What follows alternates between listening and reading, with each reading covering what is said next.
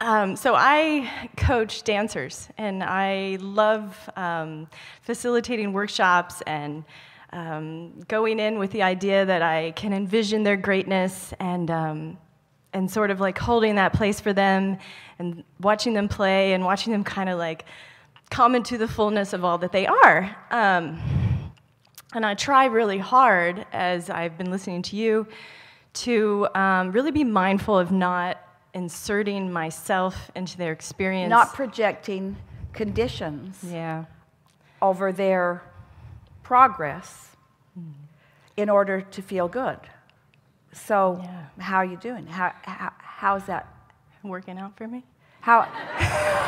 well, we know that we know that it is working out for you. We were wanting you to express uh, what thoughts you've been thinking to hold yourself there, because you know, in a in an environment like that, there are those who excel, those not so mm-hmm. much, and so if you're asking the question, who can jump the highest?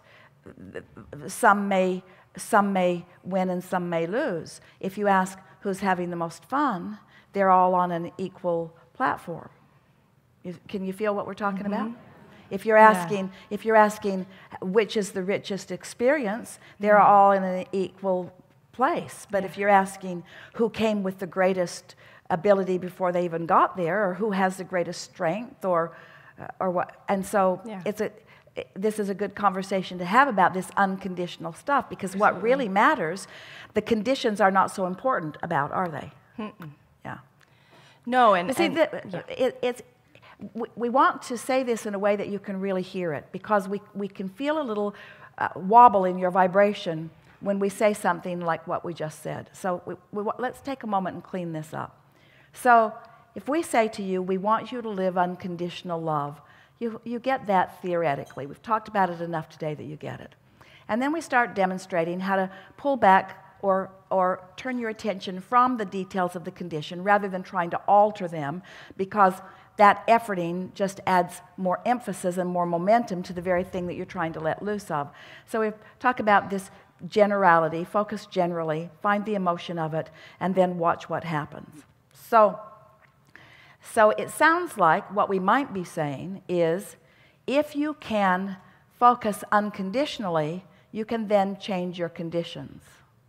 And that sounds like a, contradiction to the message because it really isn't the conditions that we want. We, we want you to focus unconditionally. But the reason that we want you to focus unconditionally is because of the prejudices you already have placed on the conditions in the way you're focusing.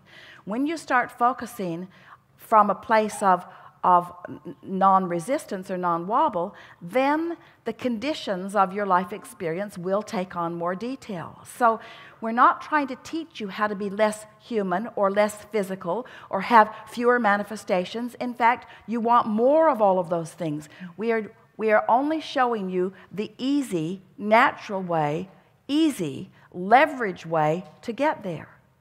So, but we want you to understand it. And, it, and our discussion about Esther, thinking that she'd caught us as she was basking over conditions, if you can, it's like getting the horse before the cart rather than the cart before the horse. It's about finding the place, the vibrational place first, and then allowing the manifestations to erupt as a result of those. But you, you have to continue to be mindful to care about how you feel first and foremost because you can flip it at any time without meaning to. In other words, you could have conditions that bother you, and so you don't give your attention to them. Our friend whose father's from India sort of was talking about that. Conditions, conditions that are overwhelming, so you withdraw from your attention and then find alignment. And then, in finding the alignment, the momentum uh, becoming more and more and more, you could at any time mess up your alignment by becoming conditional. But it's only focusing on the absence of what you want that messes up your alignment. In other words, we, we've written several books, and all of them we were helping you pivot. We were helping you to focus upon what felt better. We were talking about whether you're going upstream or downstream. We've been talking about, about looking for the positive aspects in things. We've been presenting books to you and encouraging you to focus on anything and focus upon its positive aspects. And in all of that, you have been improving your vibrational point of attraction. Now, as we are talking about this step for living, where you're wanting to sustain it, now you, now you reach the place where you can, you, if, if you want to, you can hold yourself in an definite, infinite, chronic place of allowing only what you want if you are willing to, in the moment that you begin to feel a wobble, withdraw your attention from whatever is causing you to wobble and allow yourself to stabilize within the subject that is important to you without introducing the resistance to it. Then source who adds their undivided attention to it, then it becomes stronger and stronger and stronger. So you get the results that you want faster and you hold yourself steadily in this good feeling place of never ending expansion. All right, you sort of heard that. It was a little rough. Let's clean it up. What do you think about this? You like the idea of trajectory? Mm-hmm. And you certainly understand that you were source energy before you got here. We can feel you getting that more and more. So, how does this sit with you from where you are right now? You're here, you're tuned in, tapped in, turned on, waiting for inspiration, and it's coming. Steadily, the path unfolds. But when you step into it, you realize you're in the middle of a problem. A problem.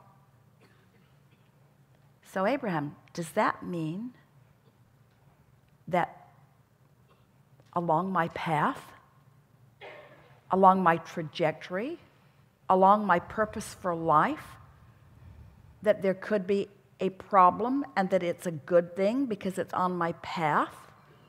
Yes. Because with the problem comes the solution, and without the problem doesn't come the solution, and without the contrast that caused the problem that brought the solution, there is no expansion. Really? So, so it really is all all right? So where I'm standing is all right? So the so the so the less than is part of the more than? So so Abraham, are you saying that my inner being in my aligned state would actually lead me on a path that would present a problem to me? Because in my focusing upon the problem, I'm actually focusing the solution into place? Do you hear that? All solutions are born from attention to the problems. So you got to stop beating up on yourself when you're standing on your path in the problem phase because it's all part of the path. And when you know that, so you're not condemning yourself, you're not calling it a problem, instead, it's part of the unfolding, then it all starts to be fun. We watch you, you climb mountains for sport. because you like being at the top. And when you get up there, it was worth it, wasn't it? It was worth it. And so, so we, we just, you get carried away in the step one part of it, and, and you have more pain than you ever need for the gain that you have. But really, you can't get this wrong. You can't get it wrong, and you're not ever going to get it done. There's always something, something of value. We just, it's so nice when you orient yourself into this place where you are accepting of where you are because it's the right place and it's the right time to be where you are. And now what? What do you choose from where you are? And what you always choose is you always choose to feel better. And sometimes better means faster, sometimes better means slower. Sometimes, sometimes what you're reaching for means to be with more people, sometimes it means to be with less people. There's not a condition that you could state that this is the way to live because you are flexible beings and, and your expansion is all about where you are and what's next. And there's no not ever going to be a place that you're standing where you say, There, now I've got it done. Now everything is in place. There's always going to be something else that you're reaching for. Always. And if it's not being fun, then something's out of whack. Because the source within you is having fun here and now. The source within you is enjoying your moment in time. If you aren't, something's off. And you're the only one who can get it back on, which almost always means just lighten up. Be nicer to yourself or be nicer to somebody or just take a nap. Do anything that you can do to stop the momentum that doesn't feel good. And we don't want you sleeping all the time either, but. but it's better than continuing momentum if you don't feel good, you see. Good. We sort of chewed that over in a way that you're hearing it. So, Oh, so now what?